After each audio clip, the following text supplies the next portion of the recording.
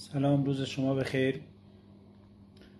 من خانواده فاطمه هستم داوند. قبلا هم با شما صحبت کرده بودم در مورد پرونده همسرم.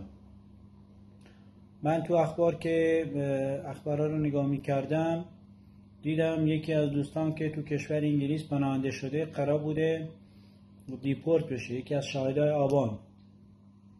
خوشبختانه این رسانه ها خیلی خوب کاراشو دنبال کردن خیلی خوب ازش حمایت کردن تا از این وضعیت نجات پیدا کنه دیپورت نشه حالا همسر بنده نزدیک دو ماه تو کمپ دیپورت تو کشور ترکیه تو چند قدمی ایران.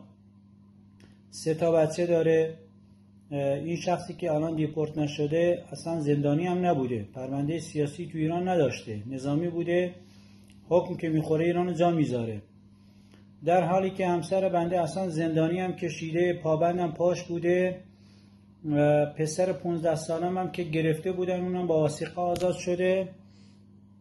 من خودم هم هی مثلا اخبارا رو منتشر می‌کنم خودم دنبال کارا میرم.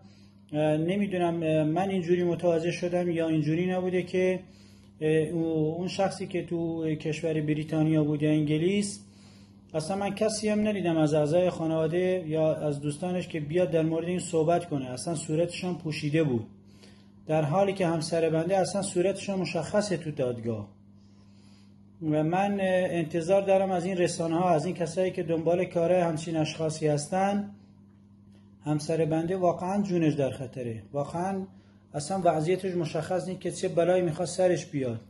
من از شما می‌خوام که دنبال کاراش باشید حمایتش کنید. بچه هاش نگرانشن واقعا ما نگرانش هستیم. دستتون در نکنه. خیلی ممنون از زحماتی که می‌کشید. دستتون در نکنه. ممنون.